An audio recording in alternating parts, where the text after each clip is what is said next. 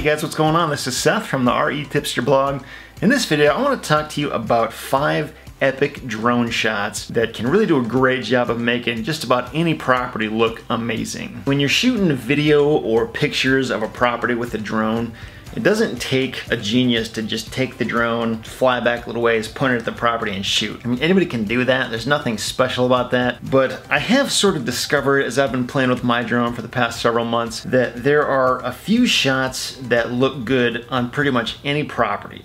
And it has a lot to do with being able to fly the drone in a certain pattern and usually moving it very slowly and tilting the camera in certain directions. If you shoot these shots just right, they can just do an amazing job at making you look like you're some kind of Hollywood movie producer because they just look so smooth and really show the property in its best possible light. So in this video, I'm going to show you five of the shots that I've kind of nailed down as just being like standard requirements for every property. And as I think you're gonna see, they look pretty great. And it doesn't take an amazing professional drone pilot to do this. With just a little bit of practice, you can most likely achieve these same kinds of shots too. So stick around and I'll show you what I've come up with here.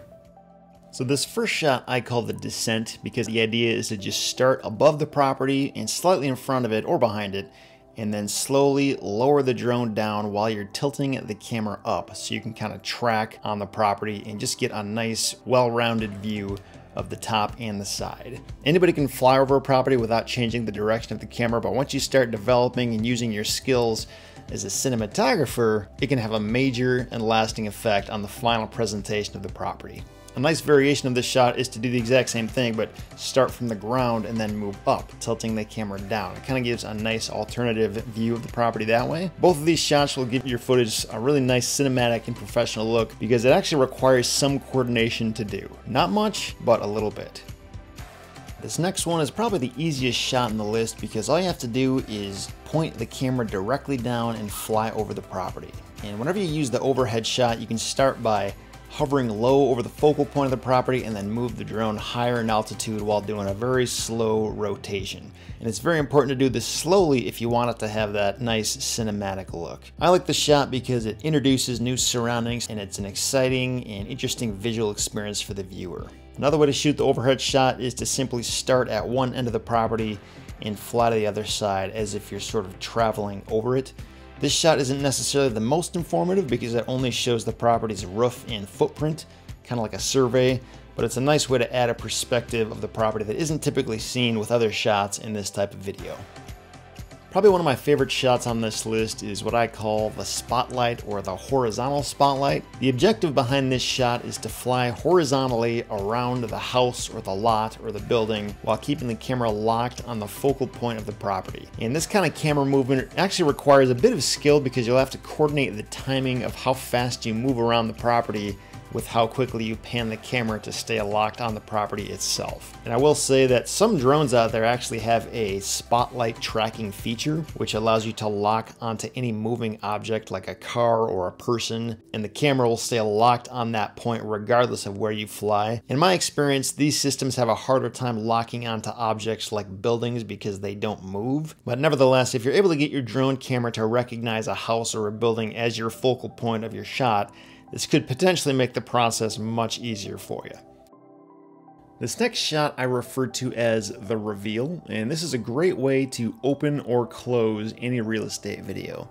In this shot, the idea is to simply approach the property from a distance and eventually fly over it while keeping the camera on the property. And again, this is one that will take a reasonable amount of coordination, though with a little bit of practice, you'll find it's not terribly difficult, especially if you have the responsiveness of your camera adjusted to be slower, which will make the camera movement much less jerky. I use this one all the time, and every time I see it, it always makes me sit back and just say, wow, that looks awesome. The great thing about this shot is that in many cases, you can also reverse the clip, and it's more of a backwards flyover, which keeps the spotlight on the property. And whenever I get this shot right, it doesn't really matter whether I play it forwards or backwards. It looks awesome all the time. So this is definitely a good one to include in your videos.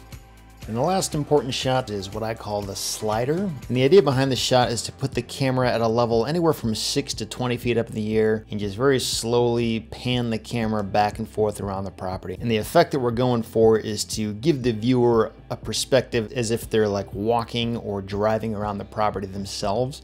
So it kind of gives them that on-site feel like they're standing right there looking at the property with your own eyes. It's a really nice shot that has a really cool perspective, and I just think it's a great one to include in your videos whenever possible.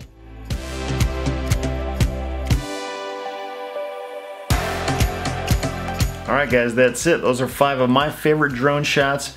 I'd say probably the biggest challenge with this is the sensitivity of the controls on your drone. Some drones act a little bit differently than others and ultimately I think what I struggled most with was just going slow enough so that it really gave the camera a good opportunity to capture every angle of the property that I was getting as I flew by. I think that's probably the biggest challenge. It's probably the biggest thing I still struggle with when I'm doing this.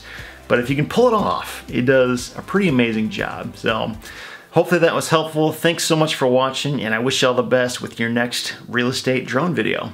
See ya.